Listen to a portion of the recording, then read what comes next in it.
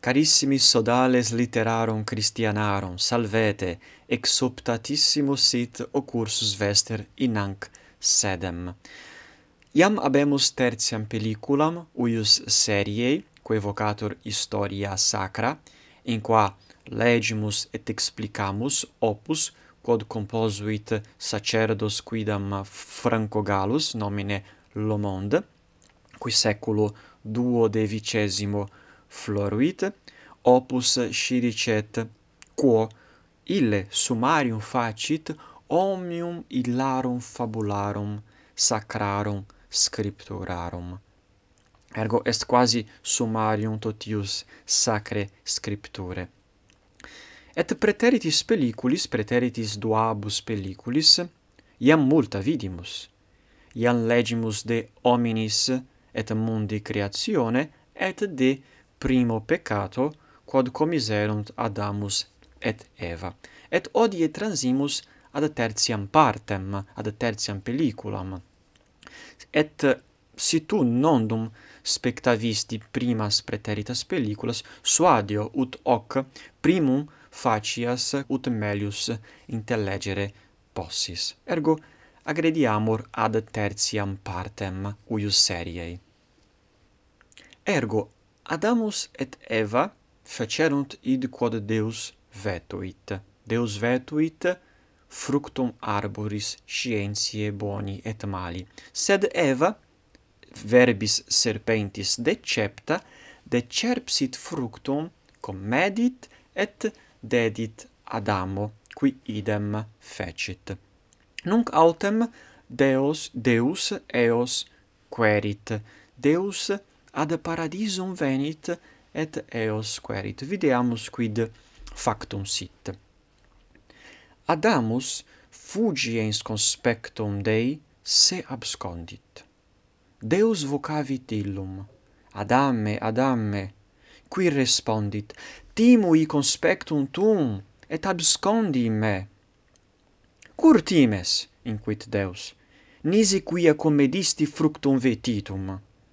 Adamus respondit, Mulier, condidisti mii sociam, porrexit mii fructumistum, ut ederem. Dominus dixit mulieri, Cur fecisti hoc? Que respondit, Serpens me decepit. Bene, ec est prima pars.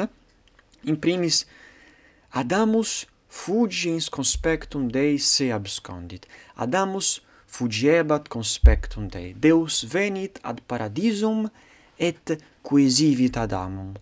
Et dum Deus querit Adamum, Adamus fugit. Fugit conspectum Dei. Quid est conspectus Dei? Conspectus est actus conspiciendi.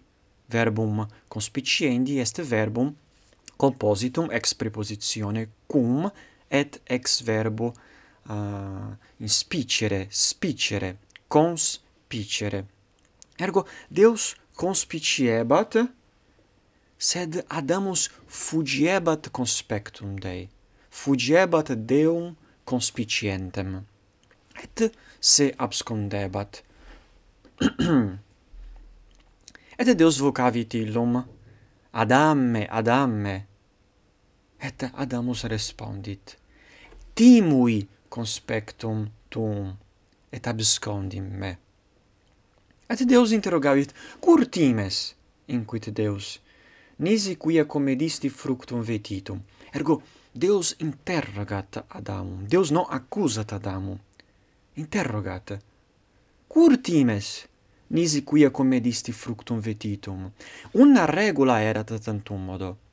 No edere illum fructum arbori scientiae boni et mali. Si tu nunc fugis, si tu nunc times, est fortasse quod tu edisti illum fructum, sed Deus non accusat interrogat, fortasse quia Deus vult ut Adamus confiteatur peccatum sum.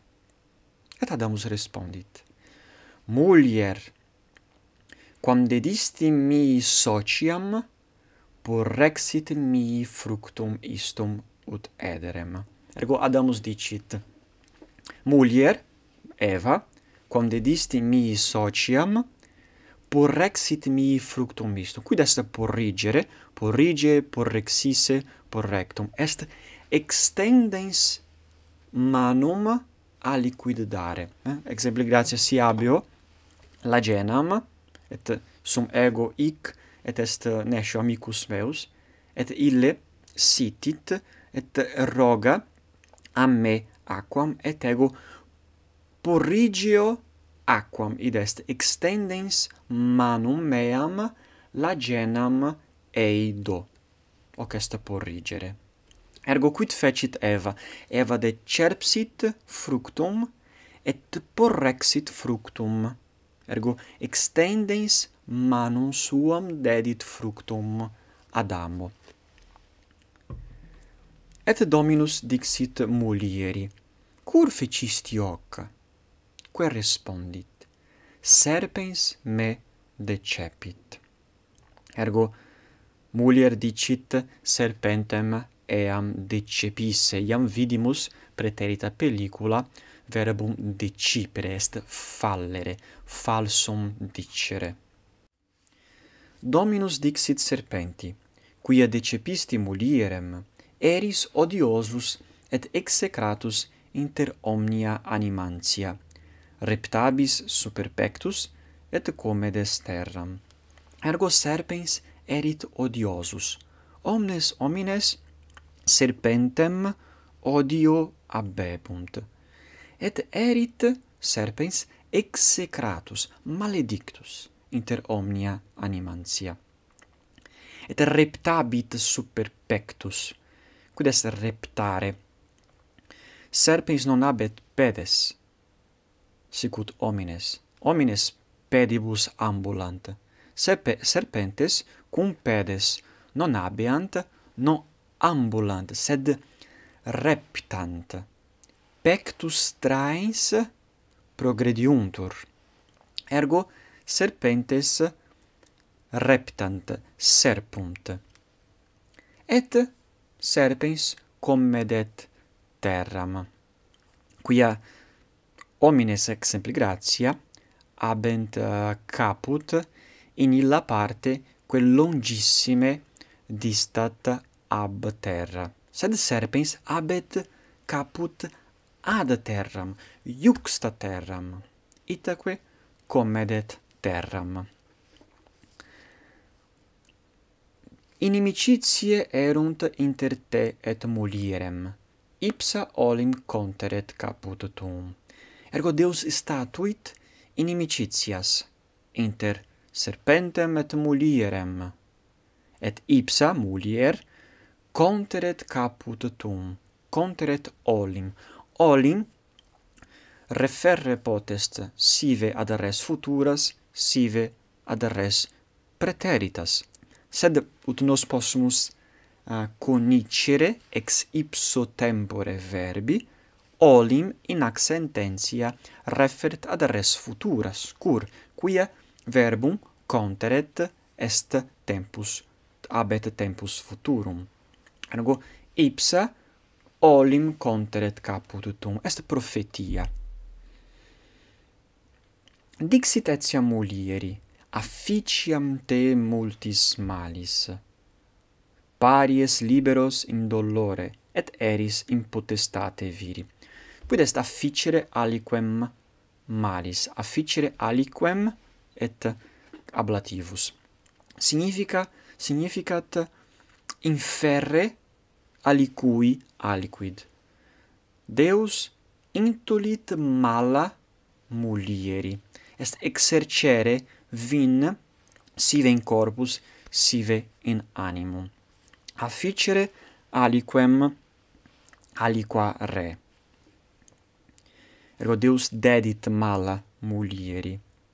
Paries liberos in dolore. Verbum est parere, peperisse, partum, significat filios edere.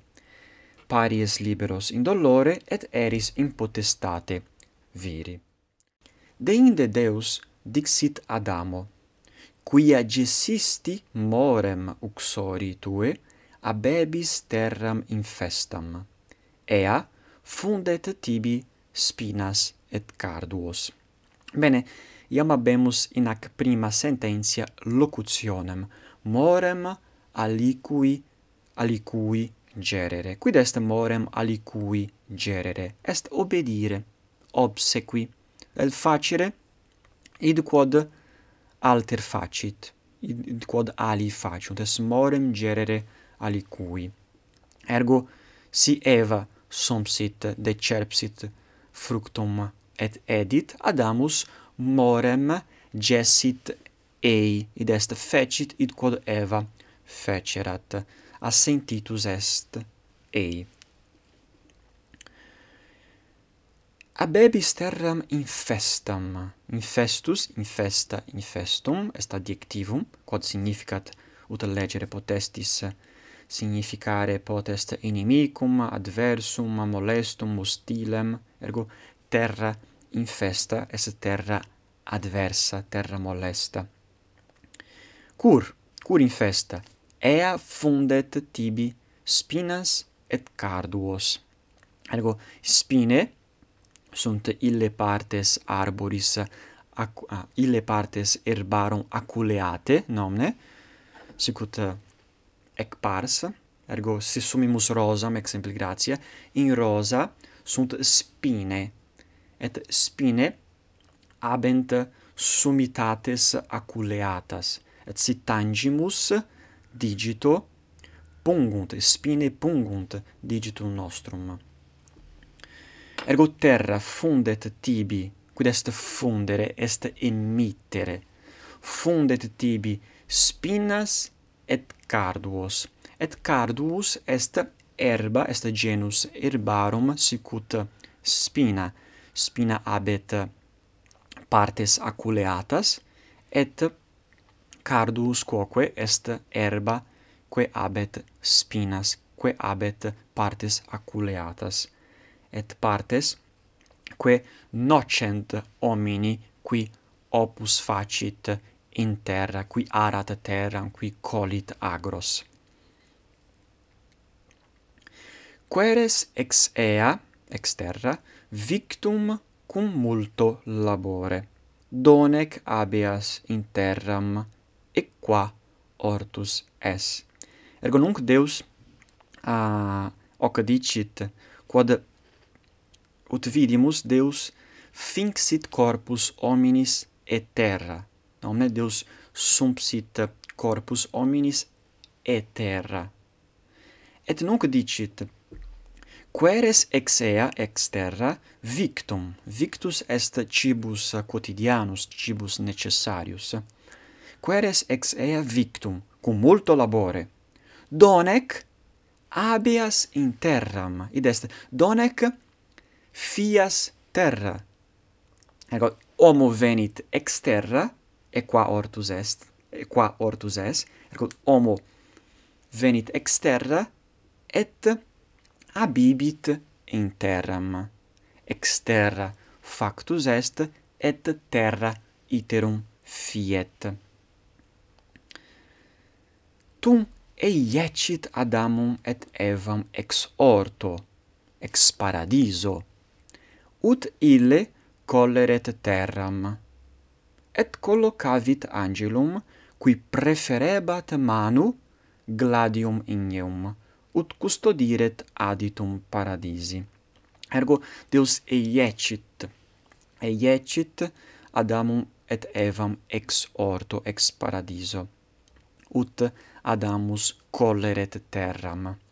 Et illic in paradiso apud aditum paradisi apud ingressum apud introitum Deus collocavit angelum qui manu ferebat manu preferebat gladium ineum et hic angelus custodiebat aditum paradisi.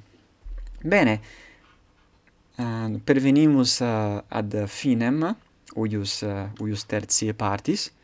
Spero omnia vobis perspicua fuisse, si dubium fuerit oro ut mi scribatis, et lego commentarios vestros et conabor respondere.